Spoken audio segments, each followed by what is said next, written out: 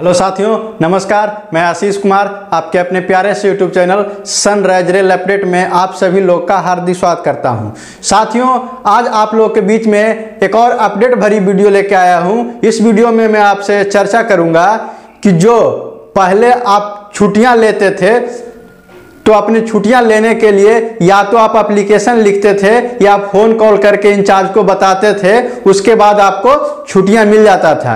लेकिन अब रेलवे इसमें बहुत बड़ा बदलाव करने वाला है, जो कि प्रत्येक रेलवे कर्मचारी को जानना बहुत ज़रूरी है। अगर नहीं जानेंगे तो बाद में बहुत पछताना पड़ सकता है। तो साथियों, वीडियो शुरू करने से पहले अगर आप हमारे चैनल पर नए हैं और चैनल को अभी तक सब्सक्राइब नहीं किए हैं तो प्लीज़ हमारे चैनल को सब्सक्राइब करें और जो बगल में प्रेस बेल आइकन है, उसे दबाना ना भूलें, ताकि वीडियो का जितना भी नोटिफिकेशन हो, सबसे पहले आपको मिले। तो साथियों, जो आज का अपडेट है, उसके ऊपर मैं बात करता हूँ कि जब हम एप्लीकेशन नहीं दे सकते हैं फ़ोन कॉल नहीं कर सकते हैं तो आखिर हमें छुट्टी मिलेगा तो कैसे मिलेगा? तो जी हाँ दोस्तों, ये हर रेलवे कर्मचारियों के मन में एक चल रहा है सवाल कि आखिर छुट्टी मिलेगा तो कैसे मिलेगा? तो साथियों, अब से पहले जो भी होता था, अगर हमको कोई सा भी छुट्टी चाहिए सी एल पी एल या ई एल जो भी छुट्टी चाहिए था तो उसमें क्या होता था कि कुछ दिन पहले हम एक एप्लीकेशन लिखते थे अपने विभागीय इंचार्ज के पास, और वो वहाँ से वहाँ से छुट्टी सैंक्शन हो जाता था, या तो कई फ़ोन कॉल करके छुट्टी इमरजेंसी में पास करवा लेते थे।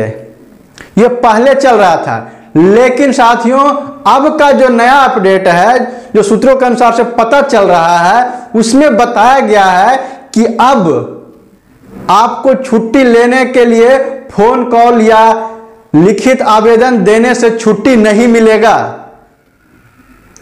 अब साथियों, इसके लिए रेलवे बोर्ड का आदेश है कि जो एच आर है, उसके ज़रिए छुट्टी को अपडेट करके छुट्टी लिया जाएगा।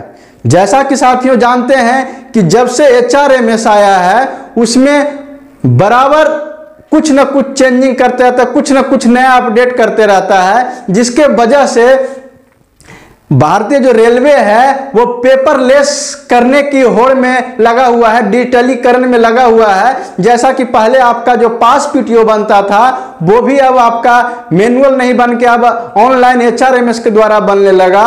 उसके बाद जब फिर देखें कि mutual transfer on request transfer, जितने सारे ट्रांसफ़र का केस था, वो सारे के सारे ऑनलाइन एचआरएमएस पोर्टल पे कर दिया गया है। तो उसी के ध्यान में रखते हुए अब रेलवे ने जो छुट्टियाँ हैं, उसको भी एचआरएमएस के ज़रिए ही अपडेट करने के लिए कहा गया है। इसके लिए रेलवे बोर्ड ने सभी जोन स्तर पे जितनी सारी छुट्टियाँ था, उसे एचआरएमएस पे अपडेट करने का आदेश दिया गया है।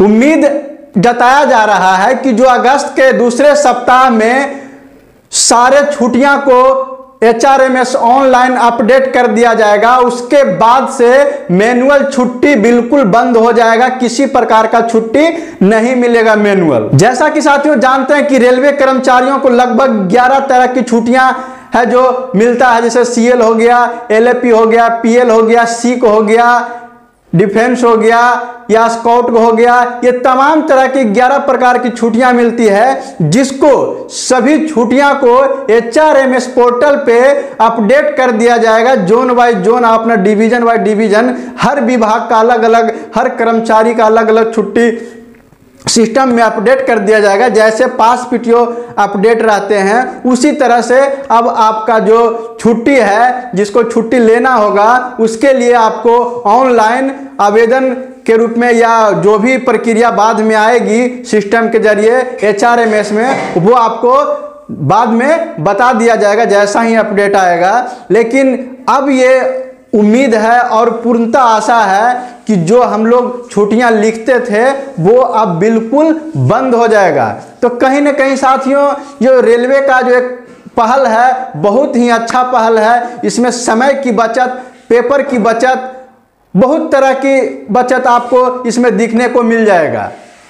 जब चाहिए, जब आप उस पर अप्लाई कर जैसे पास पीटीओ के लिए आप अप्लाई करते थे कि जब मर्ज़ी जब आप बना लेते थे, उसी तरह से इसमें भी जो अपडेट किया गया है, वो कहीं ना कहीं रेलवे कर्मचारियों के लिए बहुत ही अच्छा अपडेट होगा और मान्य अपडेट होगा। जो आगे के दिन, जो अगस्त के लास्ट में तक में जो इसका नया update H R M S पे आएगा, उसको भी मैं आपके सामने लाने का कोशिश करूँगा। उसकी प्रक्रिया को देखेंगे कि किस प्रकार से आप छुट्टी अपना लगा सकते हैं और कैसे कितना दिन पहले लगा सकते हैं। तो साथियों, तमाम सारे जानकारी जो नेक्स्ट वीडियो जब अपडेट आएगा एच आर एम एस का अपडेट आएगा, उसमें मैं आपको लेके आऊँगा। तो साथियों वीडियो में बने रहिएगा और जितना भी वीडियो मैं डालता हूँ उसे बात करते रहें। हो सकता है जब अपडेट आए, मैं आपके लिए वीडियो सेपरेट वीडियो लेके आऊँ। इसलिए साथियों, जो भी अभी तक हमारे चैनल को सब्सक्राइब नहीं किए हैं प्लीज़ हमारे चैनल को